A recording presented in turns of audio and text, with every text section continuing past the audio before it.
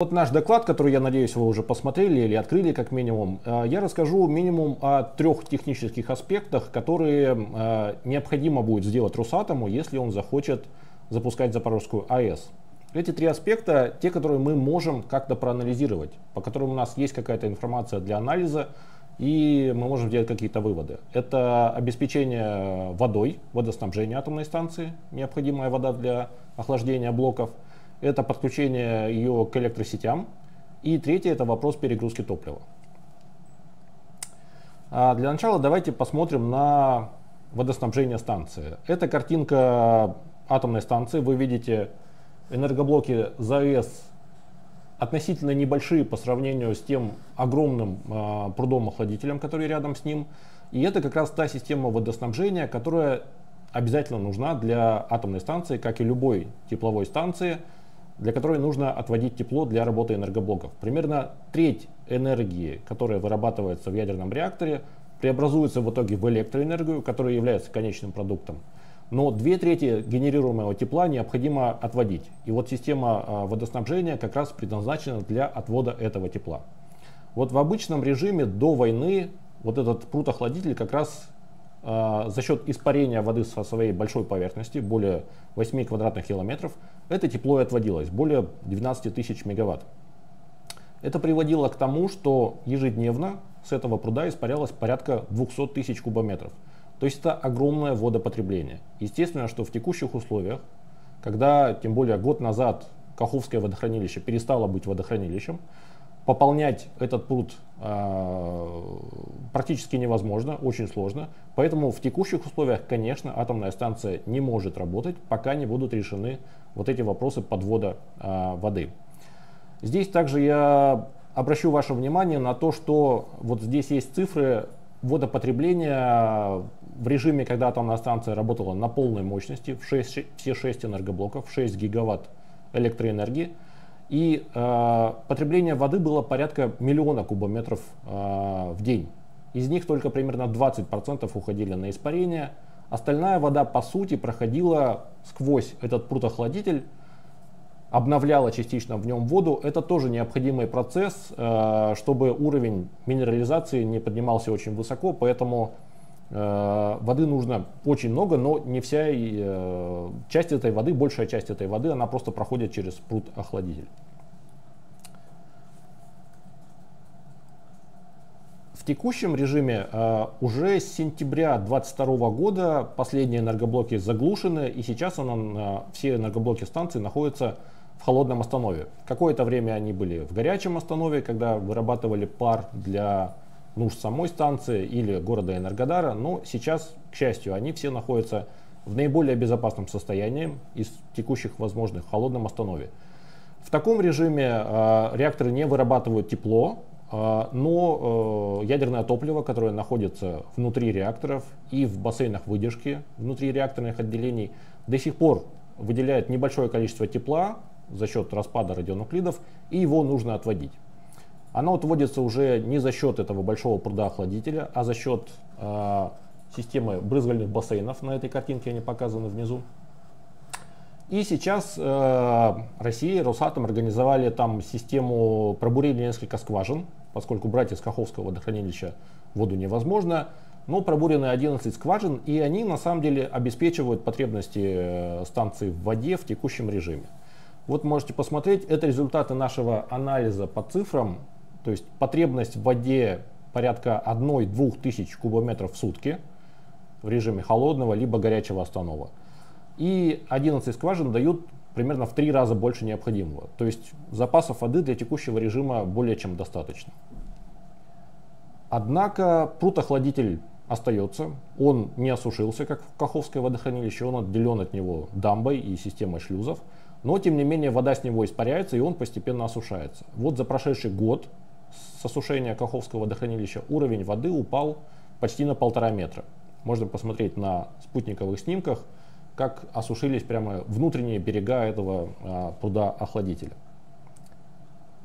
А, это график как раз падения уровня воды в пруде охладителе. А, оранжевые столбики это теплые месяцы, лето, весна и ранняя осень. Видно, что испарение как раз в эти периоды максимально. Зимой синие столбики, оно минимально. А, тем не менее, мы видим, что система скважин не позволяет не то что запустить атомную станцию, но даже поддерживать уровень воды в пруде охладителя. Нужно ли его поддерживать, это на самом деле отдельный вопрос, который тоже рассмотрим в докладе, но сейчас я не буду на нем останавливаться. А, здесь э, тоже указаны цифры. Э, потребность э, станции в текущем режиме для охлаждения, сколько дают 11 скважин, и уровень воды, который испаряется ежедневно с прудоохладителя, порядка 60 тысяч кубометров. Естественно, никакие скважины это покрыть не могут. И прудоохладитель постепенно испаряется. А, что же делает Россия? А, уже заявлено, было несколько заявлений, в том числе официальная нота в МАГАТЭ со стороны России о намерениях России построить новую насосную станцию.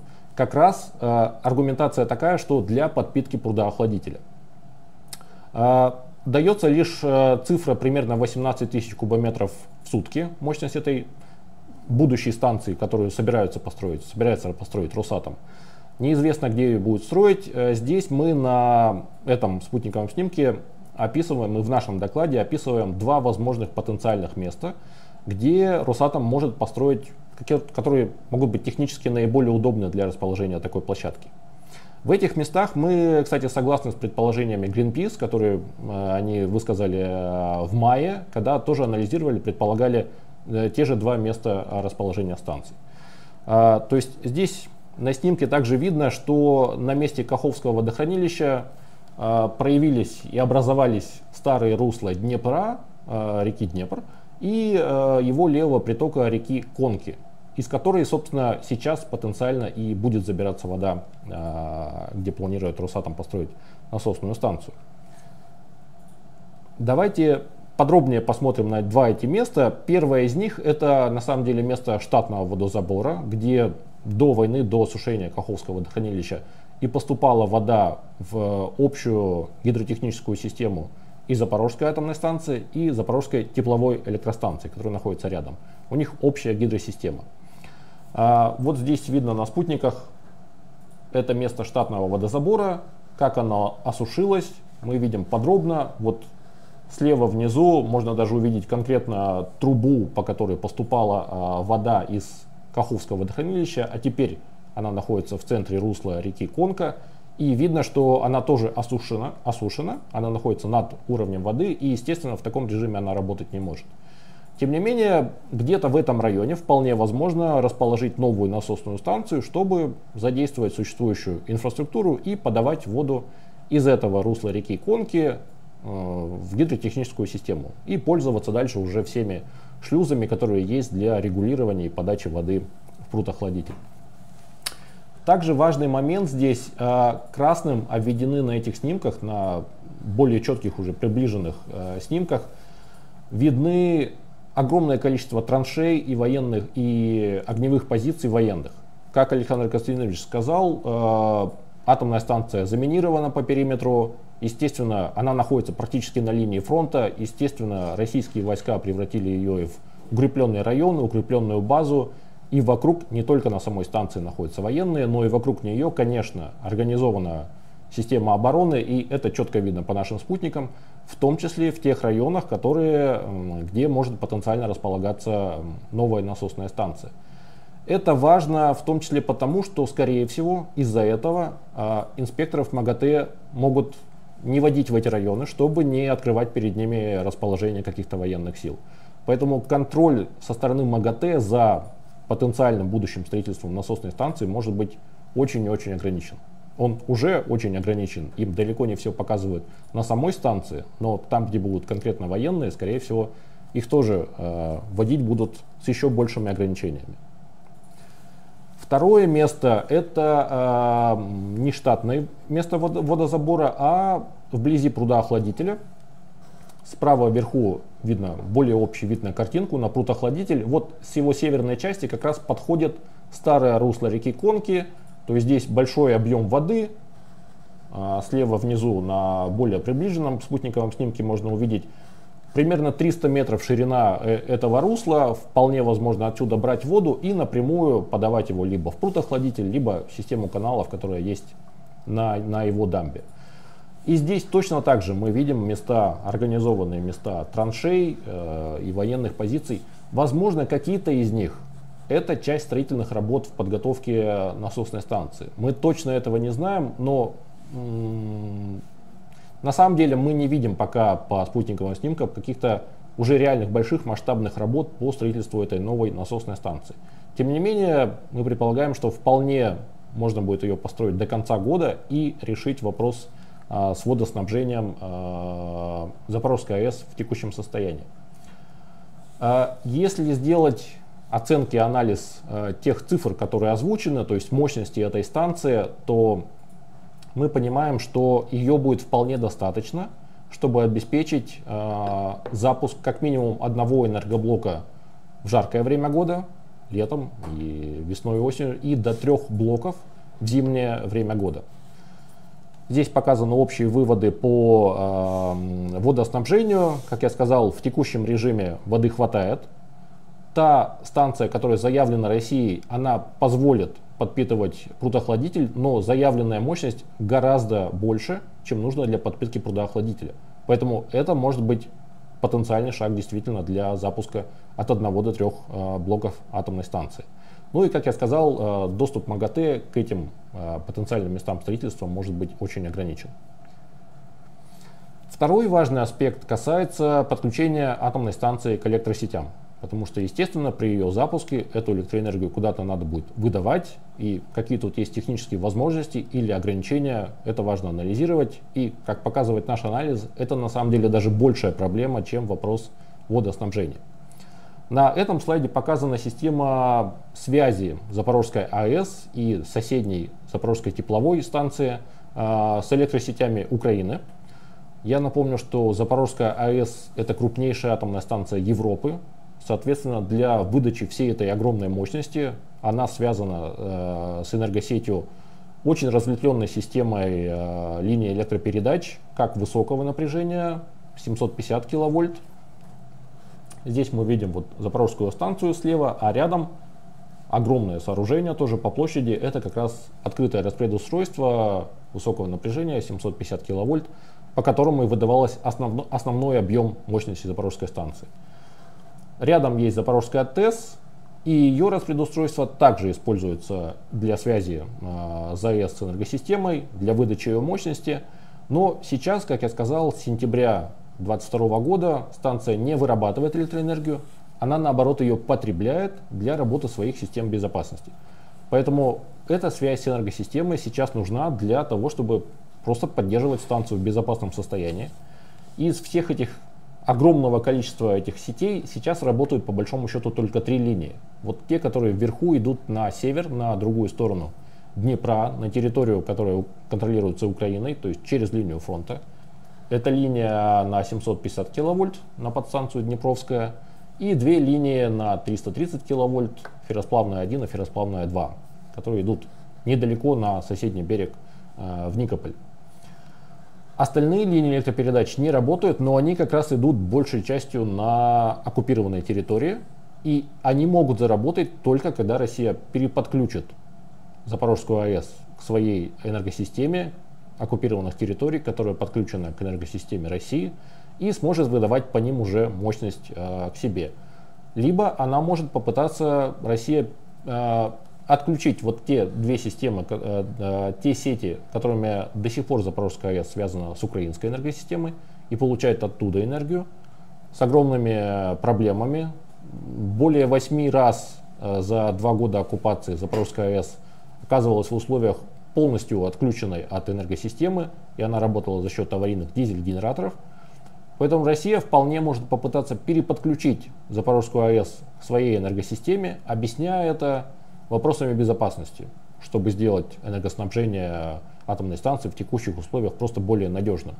Так она может это объяснять и даже за счет этого получить, возможно, ну если не одобрение МАГАТЭ, то не, не получить каких-то серьезных возражений. То есть это можно сделать даже без попытки запуска Запорожской атомной станции. Но естественно, если ее запускать, то Россия будет переподключать АЭС к своей энергосистеме. Потому что мы видим, что за два года войны Россия систематически и методично пытается уничтожать украинскую энергосистему. Естественно, она не будет запускать Запорожскую АЭС для того, чтобы отправлять энергию в сторону Украины. Она будет отправлять ее только в сторону оккупированных территорий или, возможно, самой России. Ключевой момент для переключения э, Запорожской АЭС э, к энергосистеме оккупированных территорий – это открытое распредустройство Запорожской ТЭС на 330 киловольт. Россия сама в, одно, в нескольких своих э, сообщениях в МАГАТЭ указывала, что она проводит там ремонтные работы и что именно эта подстанция необходима будет для переподключения ЗАЭС к российской энергосистеме. Мы видим по спутниковым снимкам и другой информации, что на этой подстанции действительно с осени прошлого года, с осени 2023 года, ведутся ремонтные восстановительные работы. И, возможно, эти работы как раз связаны с тем, что Россия после их завершения попытается переподключить Запорожскую АЭС э, к своей энергосистеме. Судя по ходу работ, э, они могут быть завершены вполне и до конца этого лета. Так что процесс переключения может случиться уже в ближайшие месяцы. Если посмотреть на более широкую картинку, на всю энергосистему оккупированных территорий, э, то можно попробовать проанализировать, а куда будет выдаваться энергия Запорожской АЭС, если Россия попробует ее перезапустить. И здесь мы тоже видим ряд серьезных ограничений. А, как мы видим, вот а, зеленые линии на 750 киловольт, которые позволяют выдавать основную мощность, наибольший объем мощности, многие из них ведут либо в сторону э, Украины, либо в сторону, э, ну то есть и, из них только две ведут э, на оккупированной территории, одна в сторону э, Крыма и Новой Каховки на 750 киловольт, и одна в сторону Мариуполя. Мы можем проанализировать, какую мощность могут передавать эти линии электропередач, и видим, что на самом деле а, тут есть такие бутылочные горлышки, скажем так, и ограничения.